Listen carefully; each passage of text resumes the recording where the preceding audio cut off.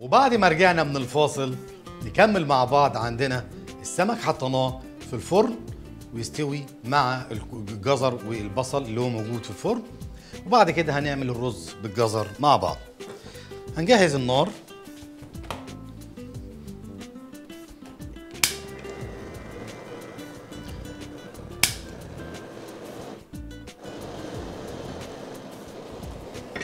تمام كده؟ وعندي بيون. ونبدأ نسوي الرز. بيون ده يا جماعة اللي هو الشوربة اللذيذة بتاعتنا. عندنا الحلة على النار أهي. هنفرم بصلة صغيرة كده عشان الرز ده هيتقدم مع السمك.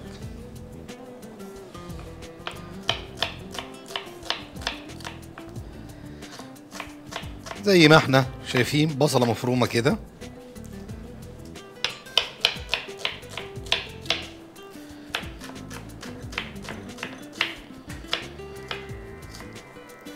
معلومة كده وإحنا شغالين عن الرز.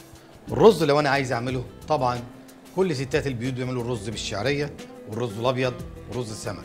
لو أنا عايز أعمل رز بالسبانخ بجيب سبانخ frozen بديها شوية كريمة وأسوي الرز نص سوا وبديهولها مع النص التاني في الحلة وهو بيستوي على النار. لو أنا عايز أعمل رز بالصلصة الحمراء أو رز oriental بالخلطة بدي معلقة طماطم بوريه لو عايز رز بالكاري بدي معلقة كركم وفي رز بالزعفران وفي زي ما إحنا قلنا قبل كده آه على الرز بالزعفران بيتعمل إزاي؟ بياخد برضو بوكيه جرنيه مفروم اللي هو كراك جزر كرات وكرفس وورق لورا وحبهان. أول حاجة بعد كده نكمل مع بعض بقى الرز اللي عندنا. هدي شوية زيت على حسب الكمية اللي عندي مع معلقة زبدة.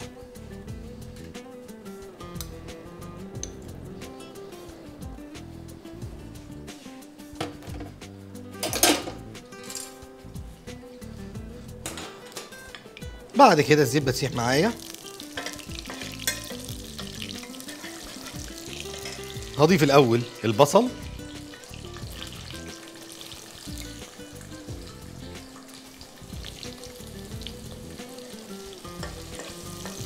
وهدي تقليبة.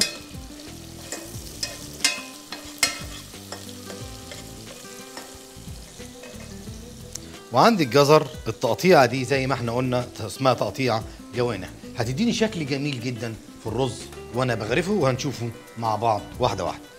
حطيت البصل وخدته على النار سوتيه شوية. بعد كده هضيف الجزر.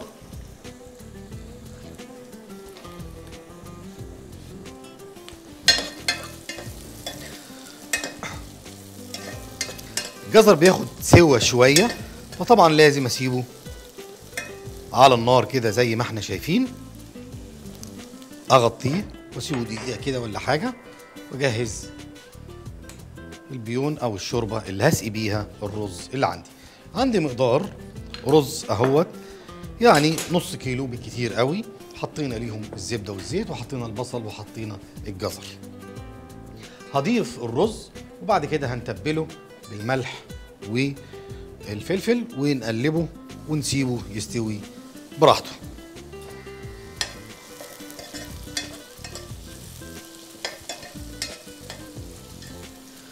هبدأ أضيف الرز بقى.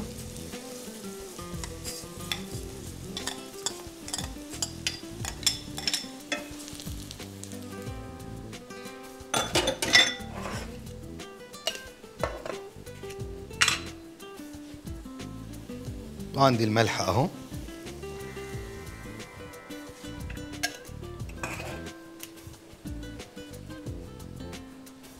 وهدي الرز بصلاية كده سليمة. مع برضو. دول كده سلام برضو كده.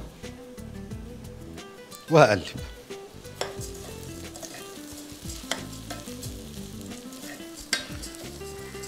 طبعا يا جماعة البصله السليمة ديت بتمتص معايا أي روايح وأي ريم وأي شيء موجود وبتدي لي نكهة جميلة قوي في الرز اللي عندي. تمام كده. الرز يسخن وهنبدأ نسقيه بالبيون اللي عندنا.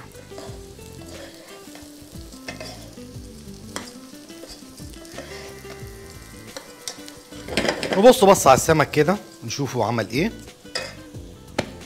واحدة واحدة كده.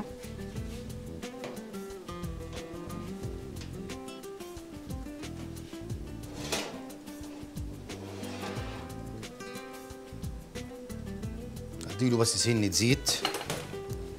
صغيرة زيت زيتون بقى يفضل.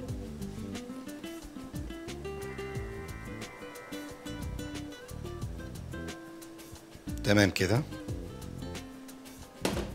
وارجعه تاني الفرن.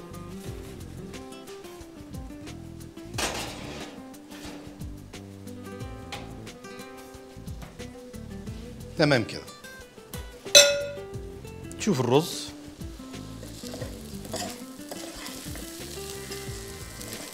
الرز سخن خلاص اهو.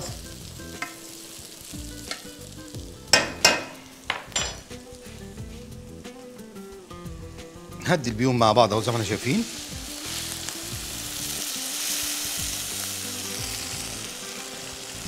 وهدي تقليبة.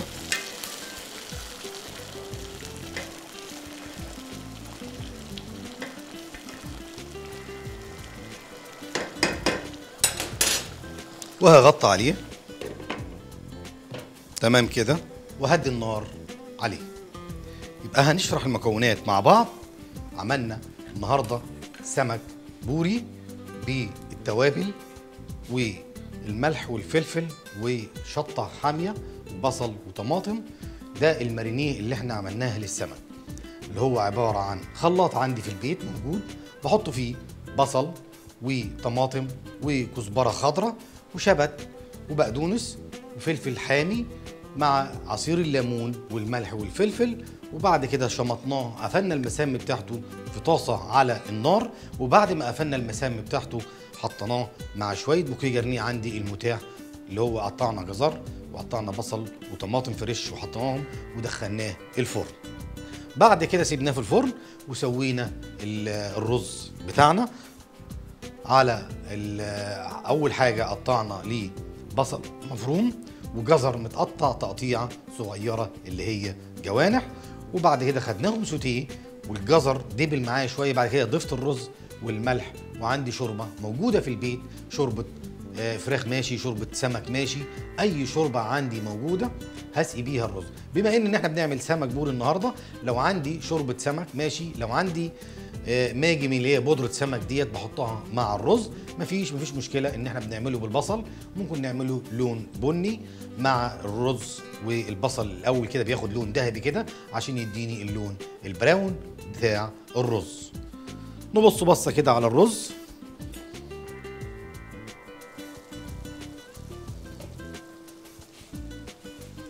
هدي تقليبة كده للرز.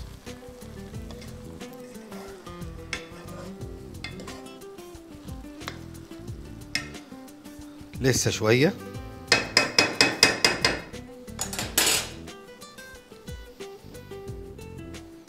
وعندنا بقى نبدأ نجهز جرنش للطبق اللي إحنا بنعمله.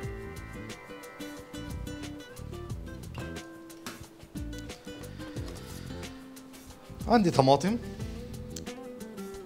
هشيل القاعدة الصغيرة دي بتاعتها القمع الصغير ده كده. وهبدأ اخدها سبعة في تمانية كده.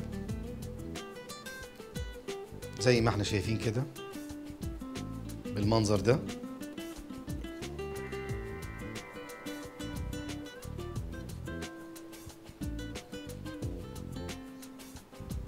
وعندي السمك بيستوي في الفرن. والرز على النار. عملت طماطم وردة أهي. اعمل واحدة كفاية واحدة. نفكر في الليمون.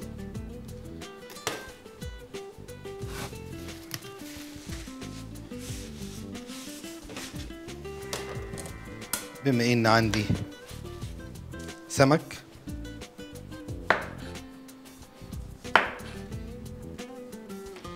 يبقى أنا هقطع ليمون طرنشات كده.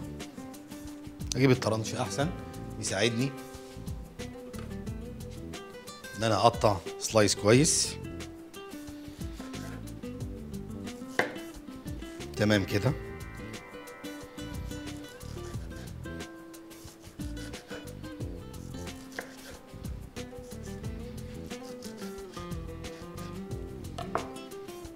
تمام كده.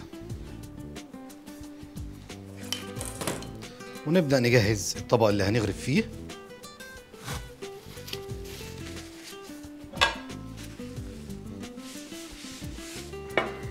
تمام كده. وعندنا السمك. خلاص كده استوى.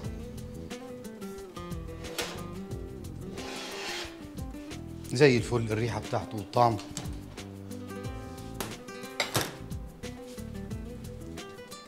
جميل جدا. نبص بصة على الرز. خلاص الرز استوى برضو. زي الفل حباية جميلة. وهغرف الرز. طفيت النار.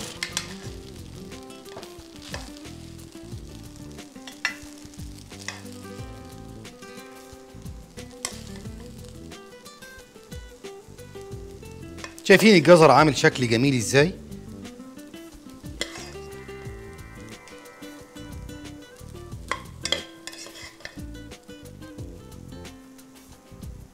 تمام كده.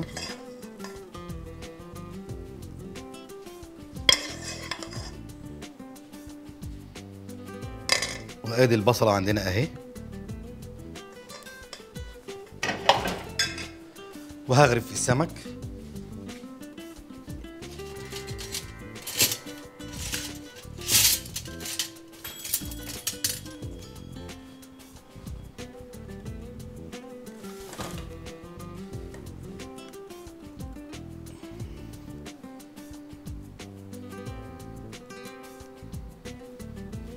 بالشكل ده.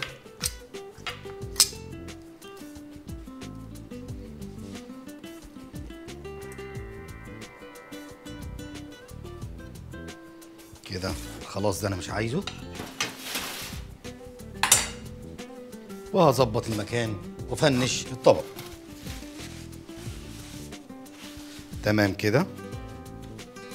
وهدي طماطم واحدة كده واحدة كده. وآدي الليمون.